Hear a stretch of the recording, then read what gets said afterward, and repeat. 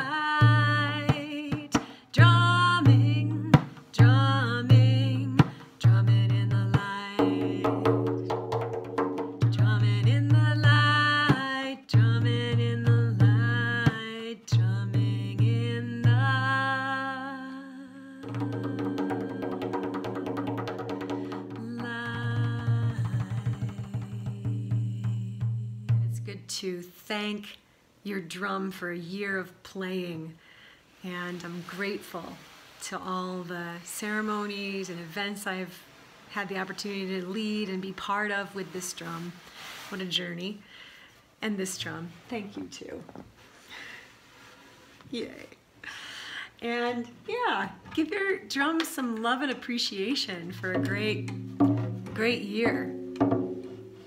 Taking a moment to pause and reflect on all the places you may have played, the things that you've participated in, and the way that the drum has brought transformation into your life. I know it has for me and into our world.